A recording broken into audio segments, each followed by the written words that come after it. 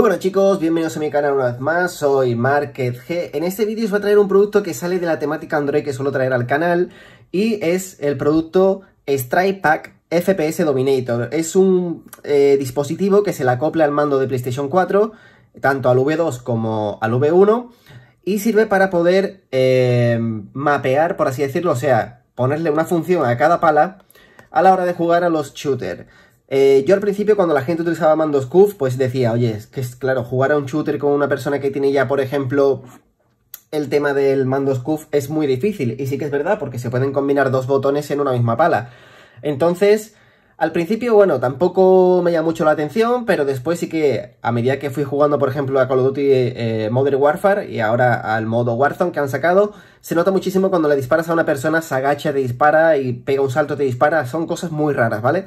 Entonces, tampoco quería gastarme 150 euros en un mando SCUF, que sí que son mejores, obviamente, en el sentido de que puedes cambiarle los L2, R2, poner la presión, cambiar incluso el peso del, mando, o sea, hay millones de cosas. Pero quería algo barato, que funcionase bien, y encontré esto en Amazon. Me costó 47 euros y tardó de 2 a 3 días en entregármelo. La verdad que muy bien, muy recomendable. Eh, he estado probándolo y me ha gustado muchísimo. Os voy a enseñar el unboxing del producto, que es lo que trae. Eh, ya os digo, una maravilla. ¿eh? Yo soy una persona que no confiaba en estas cosas y decía, bueno, a ver, a ver qué sale de aquí. Bueno, lo primero que vamos a encontrar en la caja es un cable que es micro USB. A ver si sale por aquí. Aquí lo tenéis, es micro USB. Y son de 2 metros y medio, ¿vale? Por lo que he podido ver así a ojo. Y la verdad es que está trenzado y se nota muchísimo a comparación del, cable que viene en PS4. Está muy bien trabajado, está muy bien acabado y me gusta bastante. Y bueno, los típicos libritos que no se los va a leer nadie porque incluso vienen en inglés, en inglés, perdón, y, y te viene cómo se coloca, pero bueno, ahora os lo enseño yo. Y, en francés, me parece. Así que esto lo vamos a dejar de lado porque no nos interesa. Y vamos a ir a, la chicha del producto, que es esta que está aquí.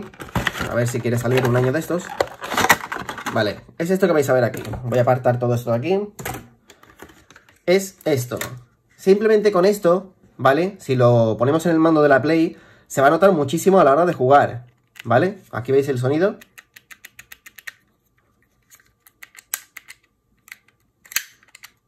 Da muy buena calidad, ¿vale? Incluso se pueden quitar por si quieres cambiarlo en un futuro. Están imantados, ¿vale? Y lo único que tenéis que hacer es un clic y la presión y listo. Y cuando lo pongamos, pues ya jugamos y listo. No se sale, aunque parezca que, sí, que puede tender a, a, salirse, es muy fácil de quitar, ¿vale? Obviamente, pero ya os digo que no se sale en ningún momento.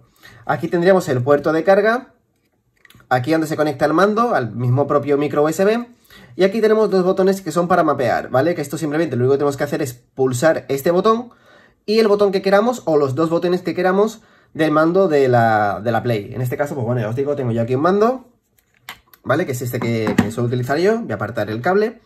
Entonces, lo que haríamos es, vamos a conectarlo de puerto a puerto. Lo encajamos, que se escuche un clip, y luego subimos esta pestañita hasta que se escuche un clip, ¿vale?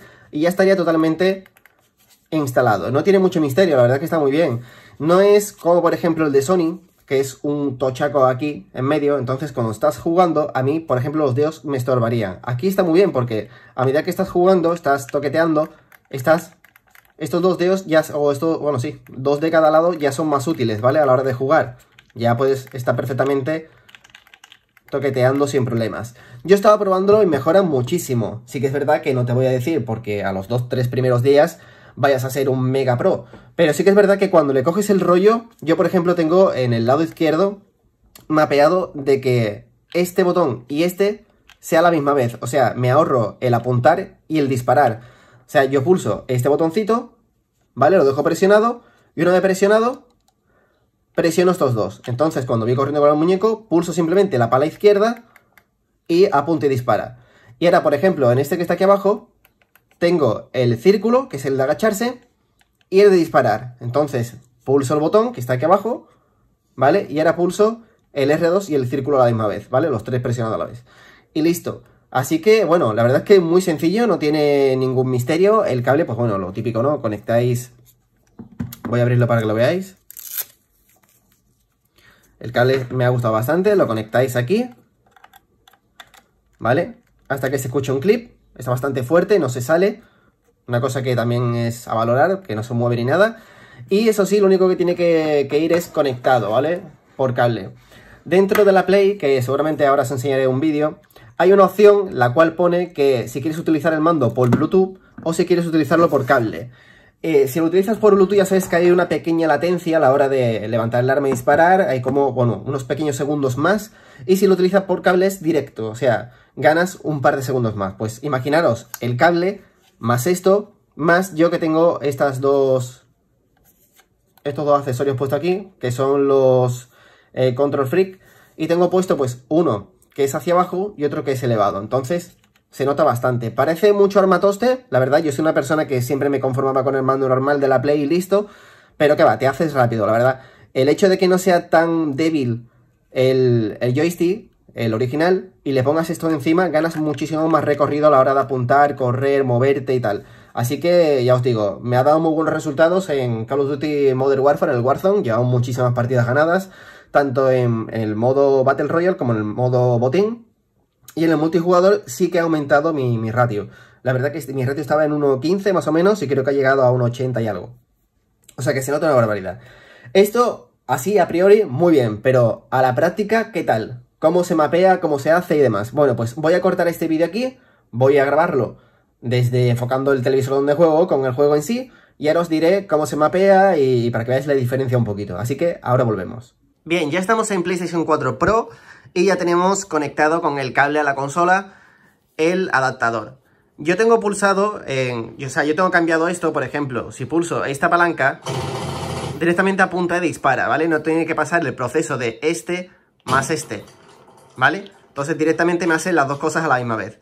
Y si quiero cambiar esto, pues pulso la pala derecha, o sea, el botoncito, y le digo, bueno, un momentito, le digo que agache y dispare, o sea, círculo y R2.